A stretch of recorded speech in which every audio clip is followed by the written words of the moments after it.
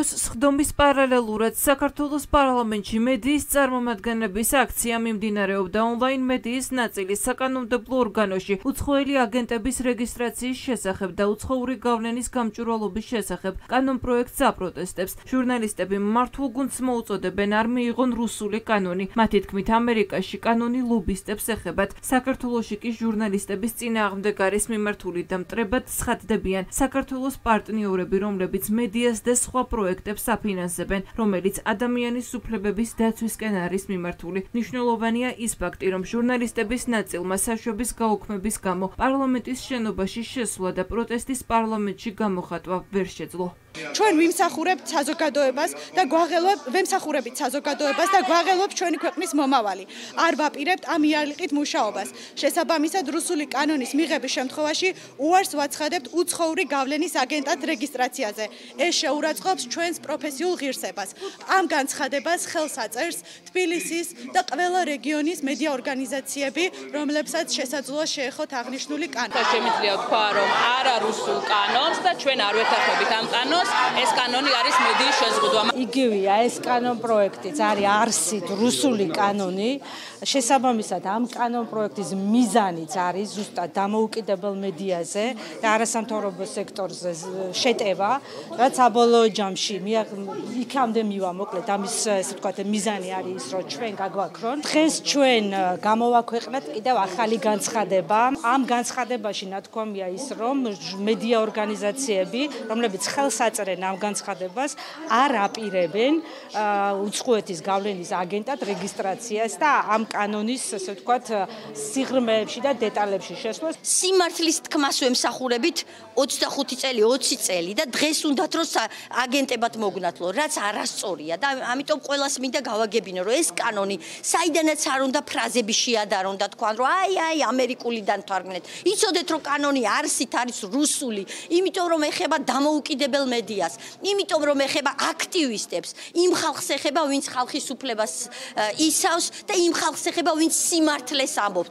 ყველას ერთად უნდათ რომ დაგვარქვან აგენტი და ესე გვათრიონ, როგორც ეს გაგვაშაონ და ჩვენ ნათქვამს ფასი დაუკარგონ. აი ეს არის მიზანი. ამიტომ არის ეს კანონი ზუსტადაც რუსული. ხალხის ძალის მიერ ინიცირებული დოკუმენტები პოლიტიკური განხილვის მთავარი საკითხია, მაშინ როდესაც კანონის მიღებას ყველა ეწინა წინააღმდეგება ქართული ოცნება პირიქით კანონპროექტის დაჩქარებულად მიღებას გეგმავს. სახელისუფლებო პარტიისთვის კრიტიკა მიუღებელია ქართული ოცნების თავმჯდომარე ირაკლი კობახიძე ამბობს რომ იტყუება ყველა ვინც ხალხის ძალის კანონპროექტს რუსულს უწოდებს. გარდა ამისა ირაკლი კობახიძე აცხადებს რომ აგენტებზე კანონის ორივე ვერსიას პარლამენტში პირველ მოსმენაზე მხარს დაუჭერენ. კობახიძე ამბობს რომ აღნიშნულ კანონპროექტს ყველა შემთხვევაში მიიღებენ. რეალურად ძალიან ძიმე მდგომარეობაში ჩავარდნენ სიტყვა სიტყვით არის ნათარგმნი ამერიკული კანონი.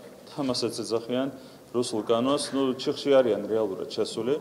ჩვენ ვამბობთ, რომ ის ვარიანტი, რომელიც თავიდან დაინიცირა ხალხის სალამ, იყო ბევრად უფრო დახვეწილი ვერსია, ვიდრე იყო ამერიკული. ჩვენ ან ერთ ან მეორე კანონს ყველა შემთხვევაში მივიღებთ. მანამდე დავალოდებით ვენეციის კომისიის დასკვნას. ვინც ამბობს, რომ პირველი კანონ პროექტი არის რუსული, იტყუება. ვინც ამბობს მას მოატყუებინეს ეგრე გამოვიდა შესთომას შეიყვანეს იუტანის არასწორი ინფორმაცია და სამწუხაროდ სახელმწიფო დეპარტამენტის პრესპიკერის პირით ითქვა ტყუილი სამწუხაროდ. მას მას მიეწოდეს მე კიდევ ერთხელ გავემერო გვარებზე არ ჩავა. ფაქტს ვამბობ. ვინც ამბობს რომ დაინიცირებული კანონპროექტი არის რუსული სიტყვება გვარებზე არ ჩავა ხალხის ძალის წევრები ქართული ოცნების ფრაქციის ლიდერებთან კონსულტაციების შედეგად შეთანხმდნენ, რომ უახლოეს დღეებში გამართება უცხოელი აგენტების რეგისტრაციის შესახებ და უცხოური გავლენის გამჭვირვალობის შესახებ კანონპროექტებზე საკომიტეტო და პლენარული განხილვები და პირველი მოსმენით მხარს დაუჭერენ ორივე პროექტს, რის შემდეგაც ორივე დოკუმენტი გაეგზავნება ვენეციის კომისიას. ამის შესახებ დიმიტრი ხუნდაძემ პარლამენტში გამართულ ბრიფინგზე განაცხადა, მისი თქმით ვენეციის კომისიისგან და დასკვნის დაჩქარებული წესით წარმოქმნას მოითხოვენ, რათა კანონპროექტი სამივე მოსმენით მიმდინარე სესიის განმავლობაში ივნისის ბოლომდე მიიღონ. პირველი მოსმენით მიღებისთანავე, როგორც ქართული, ისე ამერიკული კანონპროექტი გაიგზავნება ვენეციის კომისიაში. ამასთან გამომდინარე, იქიდან რომ კანონის სამი მოსმენით მიმდინარე სესიის ბოლომდე გვინდა მივიღოთ, ვენეციის კომისიისაგან მოვითხოვთ დასკვნის დაჩქარებული წესით წარმოქმნას. ვენეციის კომისიის რეკომენდაციების შესაბამისად ივნისის ბოლომდე მხარს დაუჭერთ და სამი მოსმენით მივიღებთ კანონპროექტის ქართულ ან ამერიკულ ვერსიას. ქართული ოცნების ლიდერები სრულად იზიარებენ მოსაზრებას, რომ უცხოური გავლენის აგენტების დაფინანსების გამჭვირვალობა არის აუცილებელი პირობა სახელმწიფო სუვერენიტეტის დაცვისა და დემოკრატიული სისტემის გამართული ფუნქციონირებისათვის. პირველი კანონის წარდგენის შემდეგ ჩვენ სწორედ უსაფუძო სპეკულაციების ისტერიული აჟიოტაჟის შემდეგ წარმოადგენთ მეორე წმინდა ამერიკული ვარიანტი, თუმცა ჩვენი ოპონენტები ოპონენტები უსაფუძვლოდ როგორც ქართულ ისე ამერიკულ ვარიანტს უძახიან რუსულს. ნაციონალური მოძრაობის ერთ-ერთი ლიდერის ხატია დეკანოიძის განცხადებით ხალხის ძალის მიერ პარლამენტში უცხოური გავლენების შესახებ დარეგისტრირებული ორივე კანონპროექტი რუსულია და ერთმანეთისგან პრაქტიკულად არ განსხვავდება. როგორც დეკანოიძემ პარლამენტში გამართულ ბრიფინგზე განაცხადა ნებისმიერი ადამიანი რომელიც ამ კანონპროექტის განხილვაში შევა და გადაწყვეტს რომელიმეს მხარი დაუჭიროს ევროინტეგრაციის გზაზე მთავარი დამაბრკოლებელი იქნება. ორივე ვარიანტი ხალხის ძალის მიერ დარეგისტრირებული ამ კანონპროექტის არის რუსული ვარიანტი. პირველი ვარიანტიც, მეორე ვარიანტიც და ეს არის რუსული კანონპროექტის ის ძალიან სერიოზული შინაარსის, ასე ვთქვათ, ქაღალდი, ფურცელი, რომელიც პირდაპირ დესტრუქციას უწყობს ჩვენს ევროკავშირის ჩვენს ევროკავშირში ინტეგრაციას და გარდა ამისა, რეალურად ყველანაირ სივრცეს ყოფს არასამთავრობო სექტორისთვის, იმ ადამიანებისთვის, ვინც ეხმარება საქართველოს მოქალაქეებს, ნებისმიერი ადამიანი, რომელიც შევა განხილვაში ამ კანონპროექტის უმრავლესობიდან, მათ შორის და რომელიც გადაწყვეტს, რომ ამ პირველ ვარიანტს, ამ მეორე ვარიანტს არ აქვს მნიშვნელობა მხარი დაუჭიროს, ეს ადამიანები იქნებიან საქართველოს ევროინტეგრაციის გზაზე თავარი დამაბრკოლებელი საშუალებლები და ეს იქნება ჩვენი ქვეყნის საბოლოო ძალიან სერიოზული და შეუქცევადი პროცესი საქართველოს ევროინტეგრაციის გზაზე გაჩერება. კანონპროექტი მიუღებელია სხვა ოპოზიციური პარტიებისთვისაც. პარტია საქართველოსთვის ერთ-ერთი ლიდერი ნათია მეზრუშვილი ამბობს, რომ ოცნება ეგრეთ წოდებული აგენტების კანონს აინიცირებს ერთადერთი მიზნით, რომ არ მოგცენ კანდიდატის სტატუსი, გააყალბონ არჩევნები და შეინარჩუნონ ძალაუფლება. ხალხის ძალის კანონპროექტს საქართველოს დასავლური კურსის მიმართ დივერსიას უწოდებს სტრატეგი იგი აღმაშენებლის ლიდერი პაატა მანჯგალაძეც. ეგრეთ წოდებული აგენტების კანონის ინიცირება მაშინ როცა ევროკომისიამ კანონმდებლობა დადებითად შეგვიფასა და საზოგადოება ყველაფერს აკეთებს კანდიდატის სტატუსის მისაღებად არის კანდიდატის სტატუსის საბოტაჟი.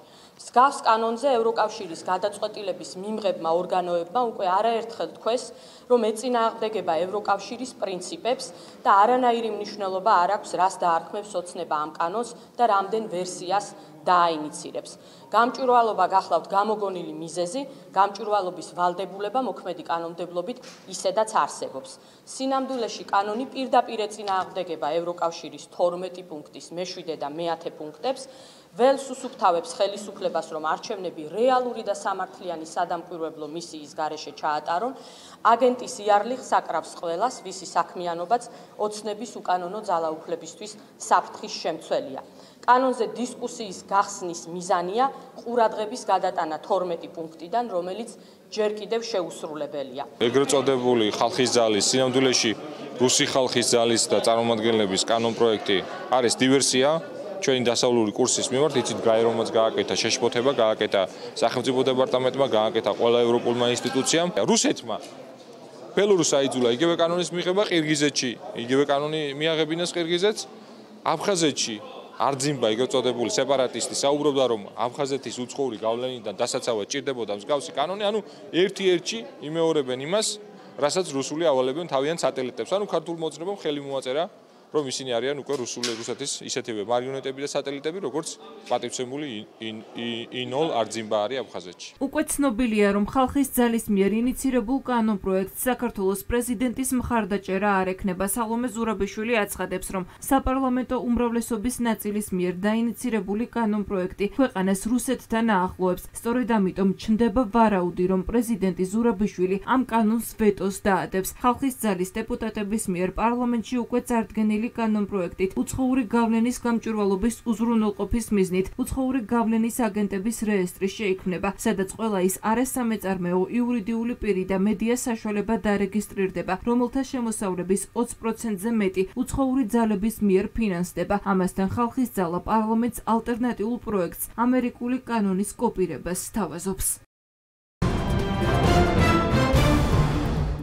არ სჭირდება საქართველოს ეს კანონი. ამის შესახებ საქართველოსი ამერიკის შეერთებული შტატების ელჩმა კელი დეგნანმა უცხოური გავლენის აგენტებთან დაკავშირებულ კანონპროექტზე კომენტირებისას განაცხადა. მისი თქმით საქართველოს ძალიან ბევრი იშრომა იმისთვის რომ აეშენებინა დემოკრატია დაეცვა საკუთარი თავისუფლება. ეს კანონმდებლობა კი ძირს უთხრის იმას რასაც საქართველოს ამდენი წელია აშენებს Well it is an honor to be here today. ყოველ დღე ახალ-ახალი მიზეზი ჩნდება, რატომ შემუშავდა ეს კანონმდებლობა. თავდაპირველად იყო გამჭვირვალობა. მაშინ, როდესაც არსებობს ძალიან დიდი გამჭვირვალობა იმასთან დაკავშირებით, თუ როგორ ხდება უცხოური წყაროებიდან ქართველების დახმარება. შემუშავებული კანონპროექტი შეუშლის ხელს ქართველებს, რომლებიც ეხმარებიან სხვა ქართველებს, ქართველებს, რომლებიც ცდილობენ პრობლემების გადაჭრას თავიანთ თემებში და თავაზობენ სერვისებს ისეთ საკითხებზე, როგორიცაა კლიმატის ცვლილებები, ახალ ახალგაზრდა ადამიანებისა და უნარშეზღუდული ადამიანების დახმარება. ეს კანონპროექტი როგორც ჩანს შესაბამისობაშია რუსულ კანონმდებლობასთან, რომელიც ახდენს სამოქალაქო საზოგადოების სტიგმატიზაციას, ახშობს განსხვავებულ მოსაზრებებს. ხედავთ რაც ხდება რუსეთში. რუსული კანონი ძალიან ეფექტურად მოქმედებს სამოქალაქო საზოგადოებისა და განსხვავებული მოსაზრების ჩახშობის თვალსაზრისით. საქართველოს ძალიან ბევრი იშრომა იმისათვის, რომ აეშენებინა დემოკრატია, დაეცვა საკუთარი თავისუფლება. ეს კანონმდებლობა ძირს უთხრის იმას, რასაც საქართველოს ამდენი წელი აშენებს. სწორედ ამიტომ საქართველოს პარტნიორები, როგორიცაა ამერიკის შეერთებული შტატები, ევროკავშირი, გაერო და სხვადასხვა ორგანიზაციები გამოთქვამენ შეშფოთებას ამ საკითხთან დაკავშირებით. ჩემი აზრით, საქართველოს ეს კანონი არ სჭირდება და კითხვას, რატომ იღებთ ამ კანონს, ფიქრობ, პასუხი უნდა გაეცეს.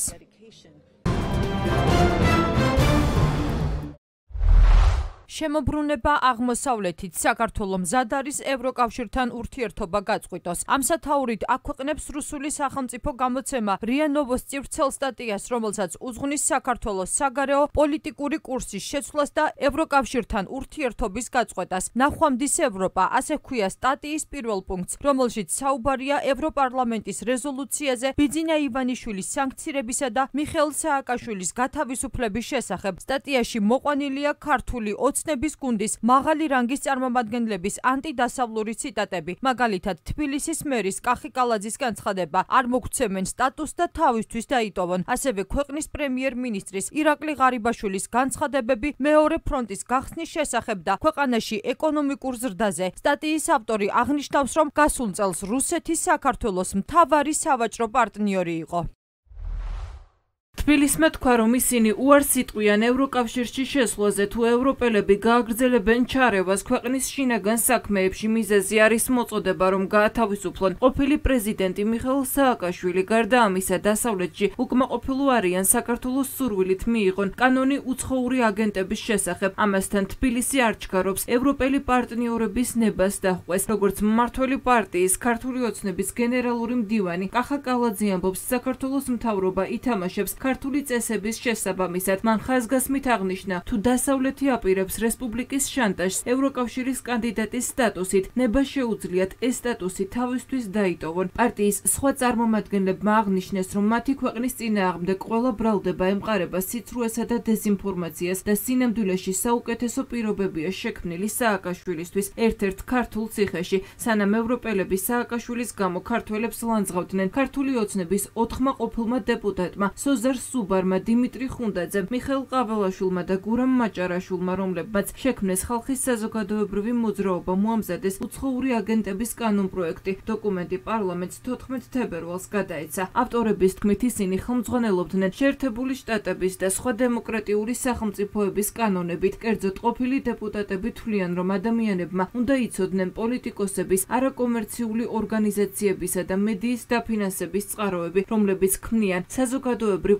აზრს და მონაწილეობენ სახელმწიფო პოლიტიკის განხილვაში. ამისათვის ხალხის ძალა უცხოელი აგენტების სპეციალური რეესტრის შექმნას სთავაზობს, სადაც შევაყოლა ვისი შემოსავალი 20%-ზე მეტი დამოკიდებულია უცხოურ შემოსავლებზე, მათ ვისაც არ სურთ დარეგისტრირება და აჯარიმებენ და სიაში მაინც შეიყვანენ.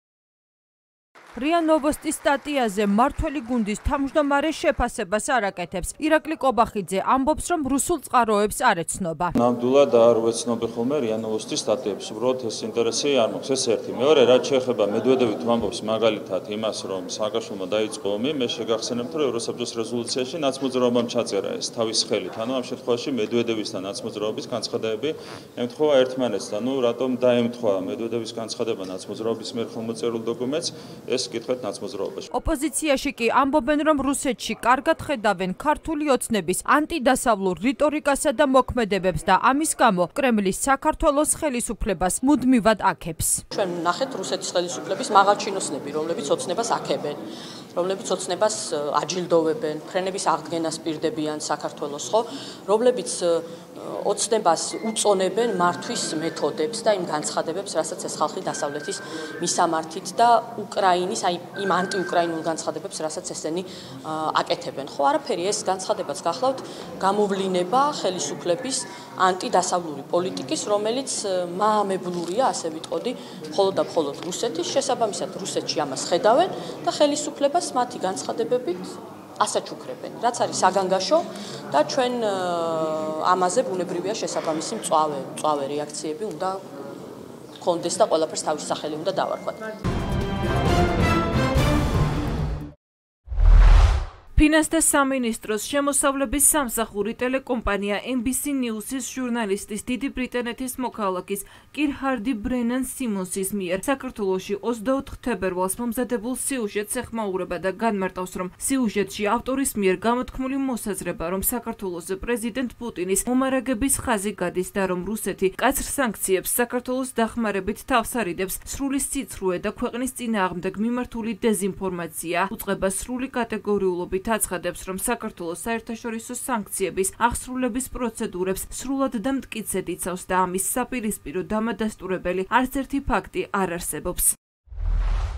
საბაჟო გამშვებ პუნქტ ყაზბეგზე დამატებით განთავსდა საბაჟო კონტროლის განხორციელებისათვის საჭირო შესაბამისი აღჭურვილობა, მათ შორის რენტგენოს სკანერები, ასევე გაძლიერდა სხვა გამშვები პუნქტების შესაძლებლობების შესაბამისი კონტროლის განხორციელების მიზნით, რაც შეეხება ქვეშეთი კობის საერთაშორისო მნიშვნელობის კვირავს. ძალიან სამწუხაროა, რომ სიუჟეტის ავტორს არ უხსენებია, რომ ეს პროექტი ავტორიტეტული დონორის საერთაშორისო ინსტიტუტების, აზიის განვითარების ბანკის და ევროპის რეკონსტრუქციისა და განვითარების ბანკის მიერ ფინანსდება. ფინანსდება. პროექტზე 2019 წლის თებერვლის თვეში გამოცხადებული იყო საერთაშორისო ტენდერი, სწორედ ზემოთ აღნიშნული საერთაშორისო საფინანსო ინსტიტუტების წესებით და ამავე წესების კაცრი დაცვით განხორციელდა კონტრაქტორი კომპანიის შერჩევა. შესაბამისად, უხერხულია მისი დაკავშირება რუსეთისათვის სანქციების თავისარიდების მცდელობასთან, მით უფრო რომ ეს პროექტი რამდენიმე წლის წინ რუსეთ-უკრაინის ომამდე დამტკიცდა. ნამდვილად დასანანია, რომ სიუჟეტის ავტორის მხრიდან არ ყოფილა არანაირი კომუნიკაციის მცდელობაც კი იმ სახელმწიფო უწყებებთან, რომლებიც კომპეტენციის ფარგლებში უფრო მეტ სიცხადეს შეიტანდნენ აზბეგის საბაჟო გამშვენ პუნქტზე შექმნილ ვითარებასთან და კანონმდებლობით გათვალისწინებული საბაჟო კონტროლის პროცედურებთან დაკავშირებით, რაც გასაკვირია საერთაშორისო მედიის მხრიდან. შესაბამისად, შეგვიძლია ვთქვათ, რომ ეს იყო ცალსახად არაპროფესიონალურად მომზადებული და მიკერძოებული სიუჟეტი, რომელიც კიდევ ერთხელ იქნა გამოყენებული საქართველოს დისკრედიტაციისათვის,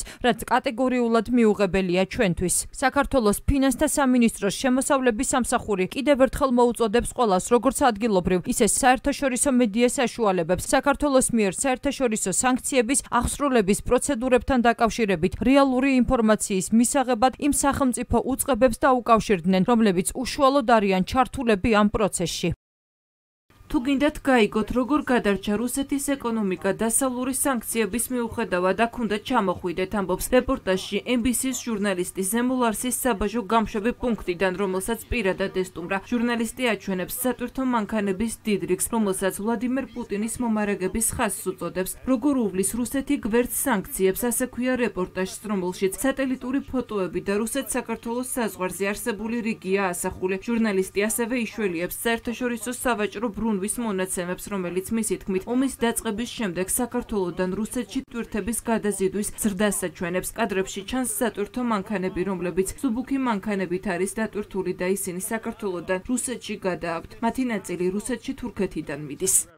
ჟურნალისტი გადამზიდავებსაც ესაუბრა, რომლებსაც სრულიად ახალი ამერიკული ძვირადღირებული პიკაპები საქართველოსდან მოსკოვში მიაქვს. გადამზიდავები ჟურნალისტს ეუბნებიან, რომ მანქანების გადაზიდვას ყოველკვირეულად ახორციელებენ. ჟურნალისტმა ერთ-ერთი მანქანის საიდენტიფიკაციო ნომერი მწარმოებელთან გადაამოწმა და მიიღო პასუხი, რომ ეს მანქანა აბუ-დაბიში ავტორიზებული დისტრიბუტორის მიერ კერძო კლიენტზე გაიყიდა. წარმოებელი ამბობს, რომ მათი საქმიანობა ამერიკის შეერთებული შტატების მიერ დაწესებულ სანქციებს შეესაბამება. შეესაბამება, თუმცა მათ არ შეუძლიათ აღკვეთონ კლიენტის მიერ მანქანის გადაყიდვა. ჟურნალისტი აღნიშნავს, რომ სატვირთო მანქანების სიმრავლე არა მხოლოდ საქართველოს რუსეთის საზღვარზე შეიმჩნევა, სატელიტური ფოტოები აქტივობის ზრდას ჩინეთიდან რუსეთის მიმართულებითაც აჩვენებს და ჩინეთი რუსეთს მნიშვნელოვან ეკონომიკურ დახმარებას უწევს. ჟურნალისტი რუსეთს საქართველოს დამაკავშირებელი გზის გაუმჯობესების პროექტზე და ქვეშეთი კობის გვირაბის მშენებლობაზეც საუბრობს, რომელიც უკრაინაში ომამდე დაიწყო და რომლის ღირებულება 9 მილიარდი მილიარდი დოლარია. ეს პროექტი მისი თქმით რუსეთთან ვაჭრობას გაზრდის.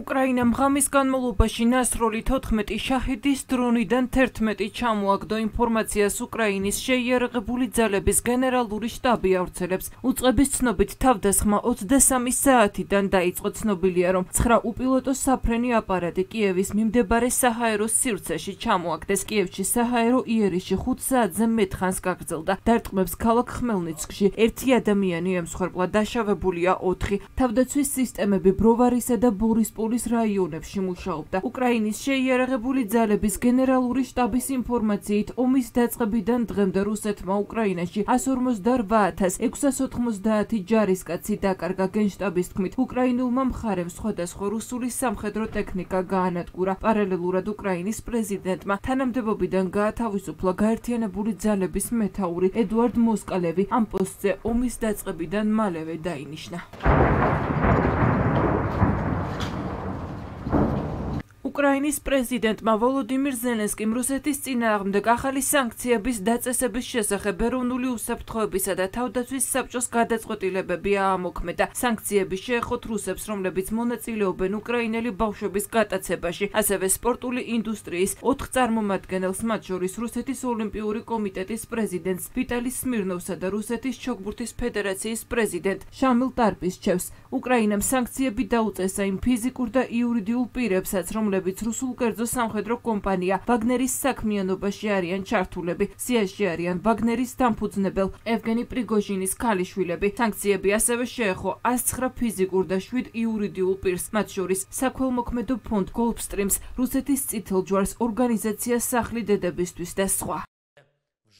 ჩვენმა სახელმწიფომ დღეს ახალი სანქციების შესახებ გადაწყვეტილება მიიღო და ეს შეეხება ყველას, ვინც მონაწილეობს ან ეხმარება რუსეთს ომის წარმოებასა და სიცოცხლისა და ადამიანების განადგურებაში. ხელი მოვაწერეს სამ განკარგულებას ეროვნული უშიშროების საბჭოს გადაწყვეტილებების შესასრულებლად იმ რუსების წინააღმდეგ, რომლებიც უკრაინელი ბავშვების გატაცებაში მონაწილეობენ, ასევე რუსეთის სპორტული სექტორის იმ წარმომადგენლების წინააღმდეგ, რომლებიც ცდილობენ სპორტი აგრესიის სამსახურში მოაქციონ და მათ წინააღმდეგ ვიც რუსეთში დაქირავებული სტრუქტურების შენარჩუნებას. ეხმარება უკრაინის წინააღმდეგ ომისა და ყველა თავისუფალი ადამიანის წინააღმდეგ. უკრაინის ზეწოლა გაგრძელდება. სოფლიოს ზეწოლა ტერორისტულ სახელმწიფოზე გაგრძელდება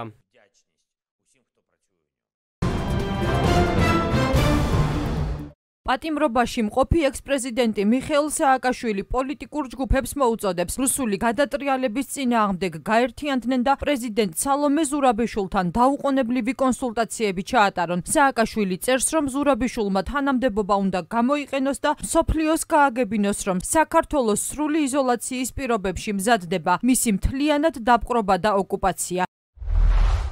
ხარს ვუჭერ პრეზიდენტ ზურაბიშვილის ბოლო დღეებში გაკეთებულ განცხადებებს და თავისუფლებისთვის ბრძოლისკენ მის მოწოდებას. ჩემი აზრით, ყველა პოლიტიკური ჯგუფი უნდა გაერთიანდეს რუსული გადატრიალების წინააღმდეგ და ასევე დაუყოვნებლივი კონსულტაციები ჩაატარონ პრეზიდენტთან. სრულიად ნათელია, რომ უკრაინაში მარცხის პარალელურად მოლდოვაში ჩაფლავების შემდეგ ახლა მოსკოვი აპირებს უახლოეს ხანში ბოლომდე ღია დაიღოს ხელში ძალაუფლება თბილისში და ამისათვის არსებულ დაშინებულ მარიონეტებს ყველა პირობაზე დაითანხმებს. რესურსებს სალომემ უნდა გამოიყენოს თავისი თანამდებობა და თელს მსოფლიოს გააგებინოს რომ საქართველოს სრული იზოლაციის პირობებში მზადდება. მისი მთლიანად დაპყრობა და ოკუპაცია. ახლა წყენების გახსენების დროს საერთოდ არაა და ბრძოლის ყველა შესაძლებლობა უნდა გამოვიყენოთ ამ დიდომში პრეზიდენტი ამბობს იმას რომ ჭეშმარიტი მშვიდობა არ არსებობს. თავისუფლების გარეშე და ჩვენ თავს გვახვევენ ომის შიშით მონობას. ამიტომ წინააღმდეგობა მოქმედი და ყოფილი პრეზიდენტებიდან დაწესებული თითოეული ნამდვილი ქართველის ვალია არც ერთი ადამიანი არ ყავს დასაკარგი ამ ბრძოლაში სახალხო დამცველის ექსპერტთა ჯგუფის შეფასებით საქართველოს მესამე პრეზიდენტის ჯანმრთელობის მდგომარეობა ბოლო ვიზიტის შემდეგ დამძიმებულია და მას აღენიშნება სარკოპენია, კუნთების განლევა, კახექსიის მძიმე მეოთხე სტადია და ორთოსტატიული წნევის კრიტიკული ვარდნა კოორდინაციის მოშლით, როგორც ომბუდსმენის აპარატის მიერ გამოქვეყნებულ ექსპერტთა შეფასებაში აღნიშნული, პაციენტი მიხელ სააკაშვილი შესულია აქტიური კატაბოლიზმის ფაზაში და შემდეგი 5-7 კილოგრამი პროგრამის დაკარგვის შემდეგ ის საწოლზე მიჯაჭვული გახდება.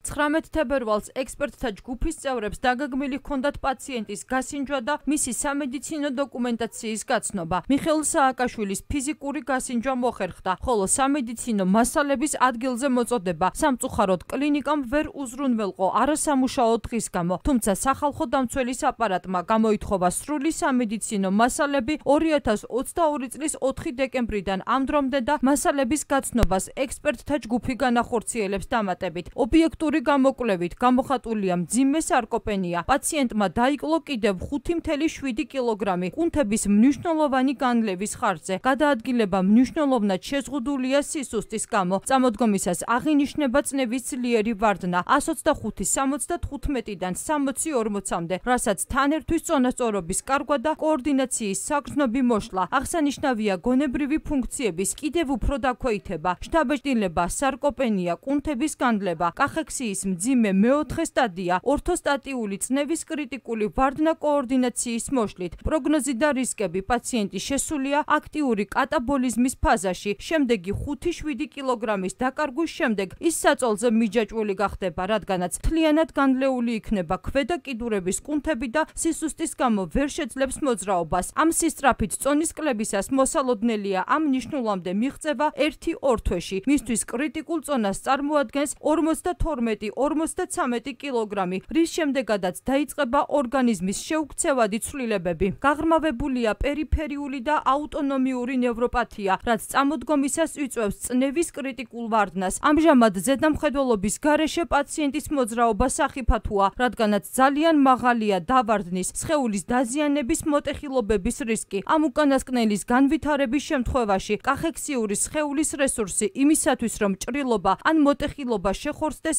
არის ძალიან დაბალი, რაც გამოიწვევს სხვა კრიტიკული გართულებების კასკადურ განვითარებას ლეტალური გამოსავლის მაღალი ალბათობით.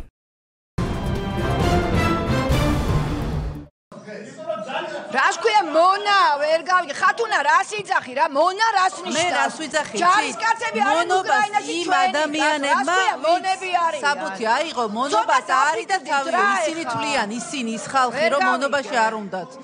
ხო შეიძლება პარლამენტში კომიტეტების ერთობლივ სხდომაზე თავდაცვის კოდექსის განხილვის პარალელურად ხმაური და დაპირისპირება იყო. დეპუტატებს შორის დაპირისპირება მას შემდეგ დაიწყო, რაც გირჩის წარმომადგენელმა სავალდებულო სამხედრო სამსახურის გავლას მონობა უწოდა. გირჩის წარმომადგენლებს აღნიშნული განცხადების გაკეთება მიხეილ სარჯოლაძემ შეაწყვეტინა და მოუწოდა, რომ ნუ დაუძახებენ მონებს მათ, ვინც სამხედრო სამსახურს ახლაც გადიან. სიტყვიერ დაპირისპირებაში ჩაერთო პარტია კანონი და სამართლის ლიდერი თამარ ჩარკვი კვიანი რომელმაც გირჩის წევრების განცხადება გააკრიტიკა და თქვა რომ მათგან საუბარი უნდა მიდიოდეს არა ჯარის გაუქმებაზე არამედ მაგარი ჯარის შეთავაზებაზე სიტყვიერი დაპირისპირების შემდეგ ადამიანის უფლებათა დაცვის კომიტეტის თავმჯდომარემ სხდომაზე შესვენება გამოაცხადა რა დროსაც დეპუტატებს შორის დაპირისპირება გაგრძელდა. მათ შორის ერთმანეთს შეურაცხყოფელი სიტყვებით მიმართეს გირჩის წევრმა ვახტანგ მეგრელიშვილმა და გენშტაბის ყოფილმა უფროსმა ქართული ოცნების დეპუტატმა ვლადიმერ ჩაჩიბაიამ სჭირდებოდა დახმარება რომ ეპოვათ ყველაზე მარტივი გზა როგორ გადაივადებდნენ და უშველიდნენ თავს და ერთი წელი არ იქნებოდნენ განაპატრიოტები როგორც თქვენ ამას ამბობთ. არამედ მონები რომლებიც ერთი წელი უფასოდ შლაგბაუმს გააღებდნენ ნუ მიაყენებთ შეურაცხყოფას ადამიანებს ვინც მომისმინეთ ერთი ერთი წამით მომისმინეთ. ადამიანები რომლებიც ახლა იხდიან სამხედრო სამსახურს.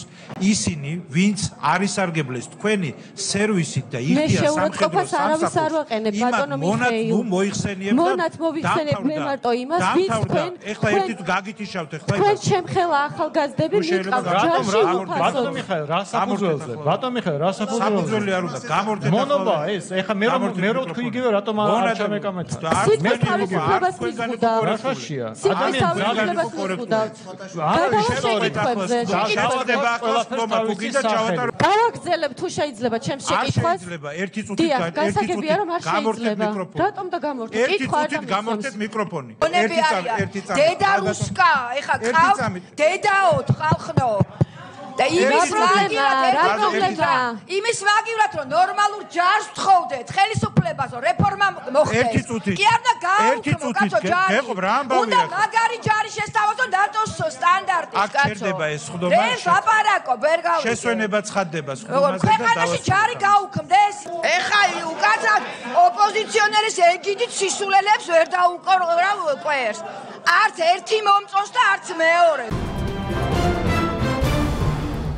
ფინანსთა სამინისტროს საგამოძიებო სამსახურმა უკანონო ონლაინ კაზინოები გამოავლინა და პასუხისგებაში უცხოეთის სამი მოქალაქე მისცა. გამოძიებით დადგინდა, რომ ბრალდებულებს ქალაქ ბათუმში სამ სხვადასხვა ლოკაციაზე შენიხბულად მოწყობილი ჰქონდათ ონლაინ გათამაშების ობიექტები, საიდანაც შესაბამისი სავალდებულო ნებართვის გარეშე ინტერნეტის მეშვეობით საქართველოს ფარგლებს გარეთ მოქმედ ინტერნეტ კაზინოების ვებგვერდებზე გადაიცემოდა ლოტოს გათამაშების პროცესი. დადგენილია, რომ ობიექტების ლეგალურად ფუნქციონირება ფუნქციონირების შემთხვევაში სახელმწიფო ბიუჯეტში სანებართო მოსაკრებლის სახით თითოეულ მათგანს უნდა გადაეხადა 100.000 ლარი. დანაშაული 3-დან 5 წლამდე პატიმრობას ითვალისწინებს. გამოძიებით დადგინდა, რომ ბრალდებულებს ქალაქ ბათუმში სამ სხვადასხვა ლოკაციაზე შენიღბულად მოწყობილი ჰქონდათ ონლაინ გათამაშების ობიექტები, საიდანაც შესაბამისი სავალდებულო ნებართვის გარეშე ინტერნეტის მეშვეობით საქართველოს ფარგლებს გარეთ მოქმედ ინტერნეტ კაზინოების ვებგვერდებზე გადაიცემოდა ლოტოს გათამაშების პროცესი.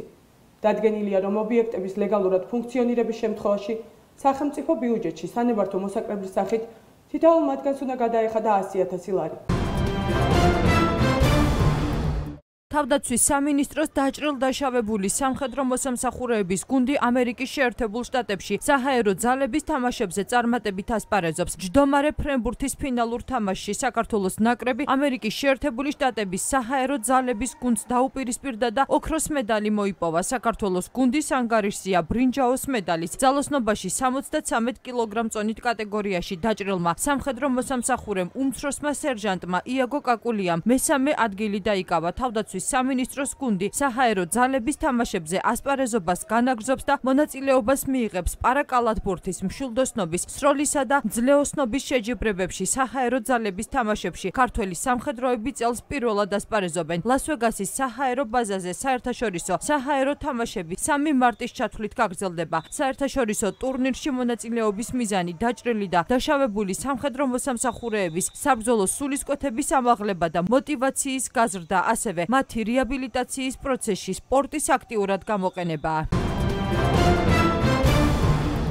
ეროვნული სატყეო სააგენტოს უფროსი კახაც ერცვაძე ბოლნისის მუნიციპალიტეტში საქმიან ეზოში მიმდინარე სამუშაოებს ადგილზე გაეცნო და ადგილობრივ მოსახლეობას შეხვდა სატყეო რეფორმის ფარგლებში. ეროვნული სატყეო სააგენტო ორგანიზებულად ახორციელებს ხეტყის დამზადებას დახარისხებასა და დასაწყობებას საქმიან ეზოებში რომლებიც თითქმის ყველა რეგიონშია მოწყობილი. სატყეო სააგენტოს დაწყებული აქვს მუშაობა ახალი სერვისების დანერგვაზე რაც საშუალებას მისცემს მოსახლეობას. გამარტივებულად შეიძლება შეიძინოს სათფობის შეშა და სურვილის შემთხვევაში ისარგებლოს ტრანსპორტირების მომსახურებითაც. სოციალური ჭრების სრულად გაუქმება 2026 წლიდან იგეგმება. ეროვნული სატყეო სააგენტოს ინიციატივით ქვეყნის მასშტაბით 39 საქმიანი ეზო ფუნქციონირებს, რაც უზრუნველყოფს დღესთან დაკავშირებული ყველა ინფორმაციისა და მომსახურების მიწოდების გამარტივებას. 2023 წლის ბოლომდე დამატებით 17 საქმიანი ეზო მოეწყობა. სოციალური ჭრები რაც აქამდე გულისხმობდა მოსახლეობის მიერ შეშის საკუთარი ძალებით დამზადებას, რაც უსაფრთხოებასთან ერთად სირთულეებთან იყო დაკავშირებული, ეტაპობრივად გაუქმდება. სატყეო სააგენტოს დაწყებული აქვს მუშაობა ახალი სერვისების დანერგვაზე, რაც საშუალებას მისცემს მოსახლეობას გამარტივებულად შეიძინოს სათბობის შეშადა ისარგებლოს ტრანსპორტირების მომსახურებითაც. მშვენიერი პროექტია გაკეთებული ეს საქმიანი ეზო მოსახლეობისთვის მithumetes ხელმისაწვდომი, უსაფრთხო, რამე თუ გვიწევდა ტყეში შესვლა შეშაზე, რაც დაკავშირებული იყო ბევრ რისკებთან. ეხლა კიდე მოდი ხარ გამზადებულს საშეშე დაჭილ მასალას ყიდულობ. ორ კვირაში ერთ თვეში როგორც გჭირდება ხოლმე იმის მიხედვით. დიდ მანქანას აღარ ეძებ, რაც პრობლემასთანაა დაკავშირებული. პირველად არსებობის მანძილზე საქართველოს კალათბურთელთა ნაკრები სოფლიო ჩემპიონატზე ითამაშებს. შესარჩევი ეტაპის მატჩი თბილისში ისლანდიის გამარჯვებით 80-77 დასრულდა, რაც ნიშნავს, რომ საქართველოს ისტორიაში პირველად სოფლიოს ჩემპიონატის საგზური მოიპოვა. მიუხედავად იმისა, რომ ნაკრები მატჩში დამარცხდა, ეტაპის გათამაშების ცხრილის თანახმად დასკვნით თამაშში საქართველოს ნაკრებს სამი ქულით წაგებაც ყოფნიდა. განსაკუთრებით ემოციური აღმოჩნდა შეხვედრის ბოლო მოწამები. მალევე თბილისი არენაზე ზეიმი დაიწყო. 2023 წლის მსოფლიო ჩემპიონატი კალათბურთში ზაფხულში ჩატარდება. Uh, we have to give a lot of congrats to our players. ჩემს საკალათბურთო კარიერაში ეს ყველაზე ბედნიერი დღეა ჩვენ ისტორიას შევქმენით და ეს დავიმსახურეთ. ამ ფანჯრის წინ ვამბობდი, რომ მიზნის მისაღწევად ორი თამაშის მოგება გვჭირდებოდა. ისლანდიასთან თამაში კი წავაგეთ, თუმცა მაინც ბედნიერები ვართ, რადგან საგზური მოვიპოვეთ. განსაკუთრებული მადლობა გულშემატკივრებს. ძალიან ბედნიერი ვართ, რომ ეს ისტორია დაიწერა. ყველანი ვიზიარებთ ამ სიხარულს. დაღლილები ვართ ემოციისგან, ვეცადეთ მთელი